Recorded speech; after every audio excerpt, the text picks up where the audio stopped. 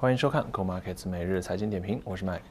这里我们先来看一下昨天，应该说是上周五的市场情况。那么在澳洲方面呢，在上周五的走势依然是非常的不尽如人意，整体市场呢是下跌了百分之零点九，其中主要的矿产和金融股呢下跌幅度呢分别是超过了百分之二和百分之一，最终使得澳洲大盘呢再次是跌破五千四百点，目前呢距离五五千四百点足足有超过五十点之远。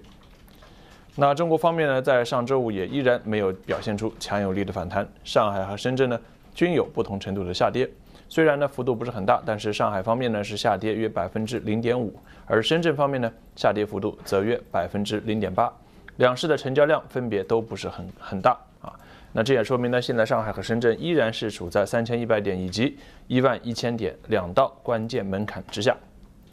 那么欧美股市呢，在上周五是经历了比较大的波动，特别是美国方面啊，欧洲三国呢下跌幅度相对还稍微少一些啊，但是呢也是超过了百分之一。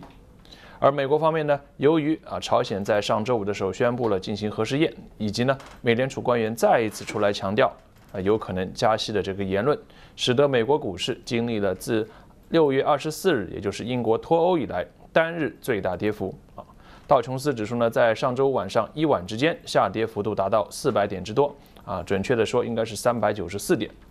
纳斯达克和标普五百呢，也分别是下跌超过了百分之二以上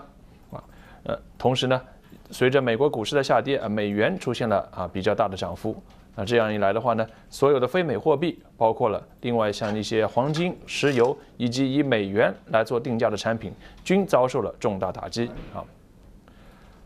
那今天我们这个热门话题呢，就着重来看一下，在上周五晚上的这一次巨大的市场波动，应该来说的话呢，是啊一个核弹的效应呢，抵不过美联储官员的一句话。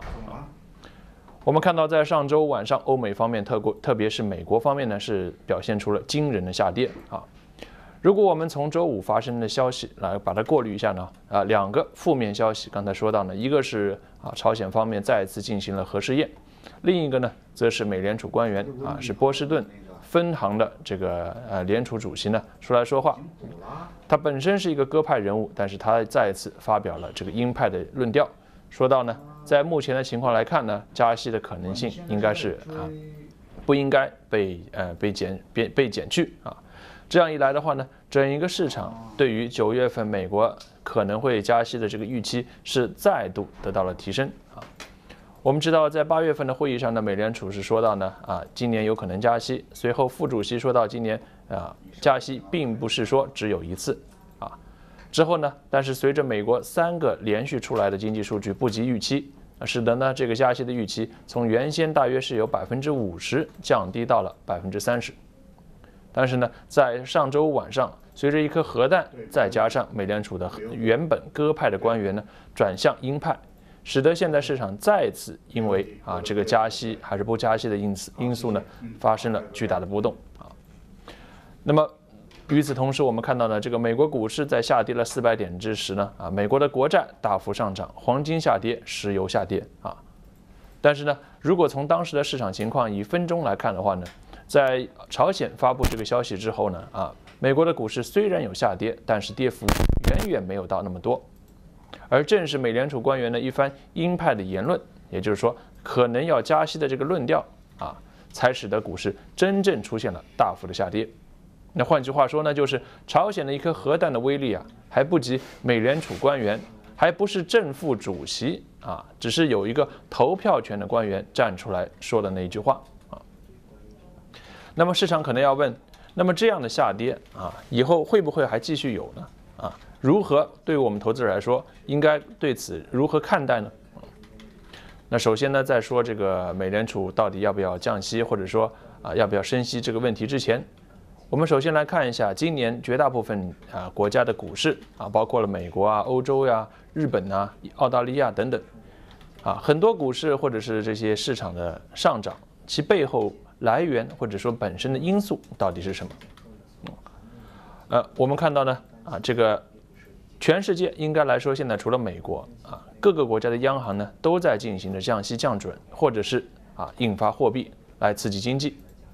那美国呢，为了不让自己的国家利益在其中也受到伤害啊，从最初预计降息的四次，降低到呢最多的一次都没有啊。虽然在过去的几周把预期重新提高到了一次到两次，但是目前来说的话呢，美国股市在过去的八个月里面的走势，正是得益于美联储延迟或者说不断的找借口不加息，美国股市才能够创出今年的新高啊。那么这些股市的上涨，或者说是外汇的下跌呢啊，或者说是包括了大宗商品的反弹，都是建立在背后强大的。央行的财政支持基础之上，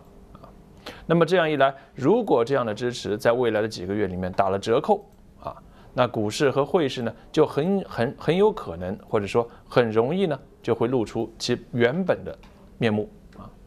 换句话说，现在整一个市场的上的上涨，啊，就像是呢一个小孩目前骑着呢是有一两个轮子在后面支撑的啊四轮自行车，啊，一旦把后面两个轮子去掉。那估计呢，它还是会摔跤啊，不会起。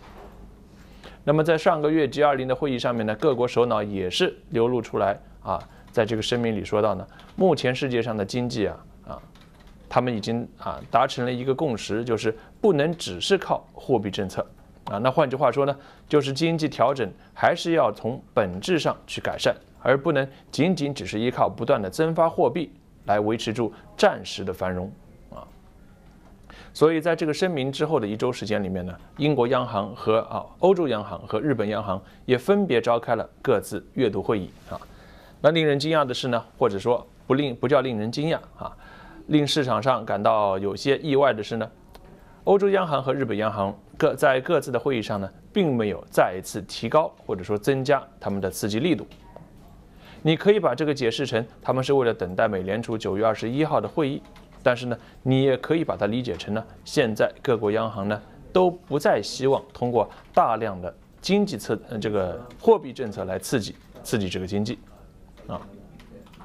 那对我来说的话呢，其实我们知道呢，啊，现在的经济呢，应该说在过去的一两年之内都是靠着这个央行的量化宽松，换句话说呢，都是靠着打激素再去刺激它，去维持住啊。那这样来说的话呢，长期以往肯定不是好事。一旦这个激素成瘾，那么即使你是恢复正常，只是喝水不吃药啊，这个时候呢，身体都会受不了。所以说，我们呢都不希望未来的经济是靠着强行针或者是经这个刺啊激素啊去维持住它。所以说，现在这样的下跌，在我看来，并不意味着一定是一件坏事啊。可以说，现在呢。啊，这个市场呢，应该说是被宠坏了啊。这个低利率的环境不可能永远存在啊，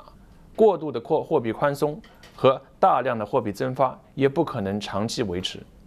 这样的局面迟早应该会被纠正过来啊。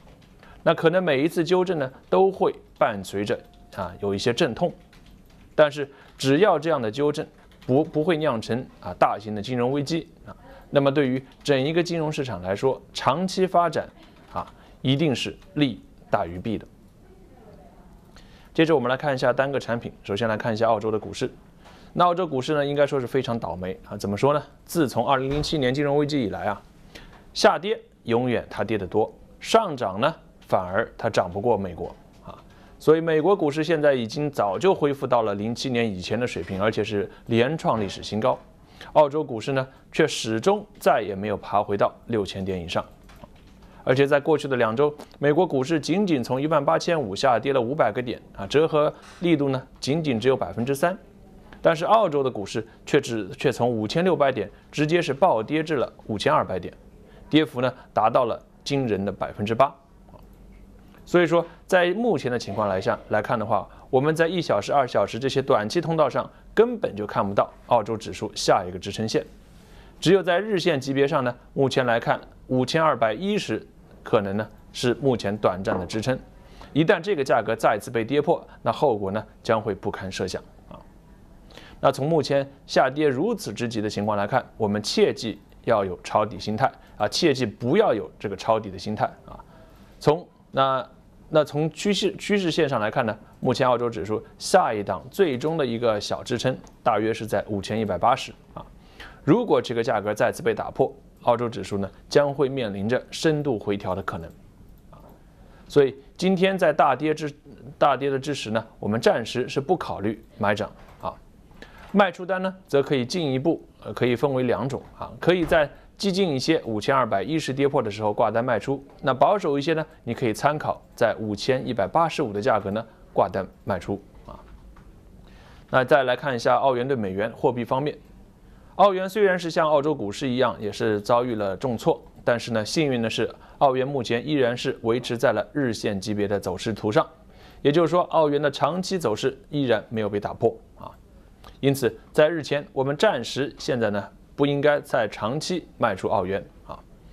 嗯，除非是连续。那目前呢，澳元已经连续下跌三天了。我们知道，这连续下跌三天之后呢，啊，随时有可能会有小反弹。但是呢，我再次提醒大家，在反弹啊真实来到之前，我们切记去抄底啊。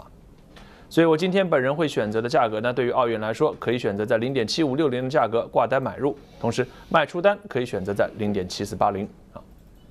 再来看一下原油方面，那在上周五呢，我说到原油价格的走势呢，在没有跌回八月十八号的高点往下画的一条趋势线之前啊，都可以看涨。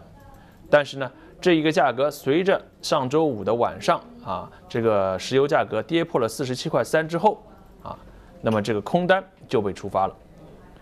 接着，在仅仅不到十个小时之内，石油价格从四十七块三直接跌到了四十五块五毛钱啊，跌幅呢达到了一点八美元啊，超过了百分之四以上。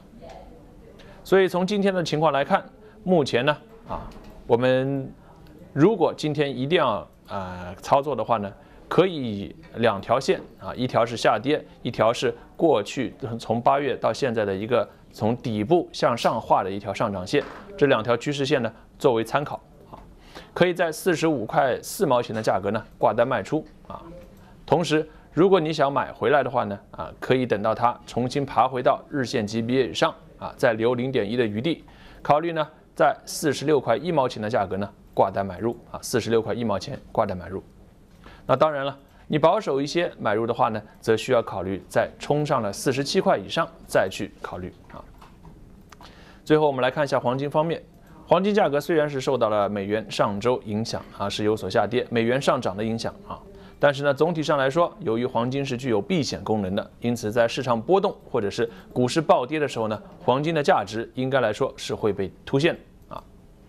那从现在来看，如果美国股市继续下跌，我本人并不认为黄金会有继续的大大大的跌幅啊。从目前的情况来看呢，黄金又跌破了一千三百三十这个通道，又面临着一千三百三到一千三百一十五这十五块钱的范围啊。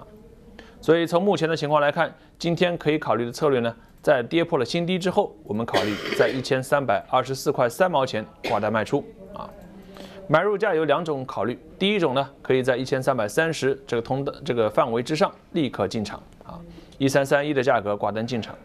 第二种保守一些，则要等待上了一小时通道线之后，在一千三百三十四块五毛钱的价格再去挂单进入。最后，投资者今天需要注意的事件呢，其实今天并没有特别大的事件，因此晚上时间段呢，并没有单独产品需要特别重视啊。那感谢您收看今天 Go Markets 每日财经点评，我们明天再见。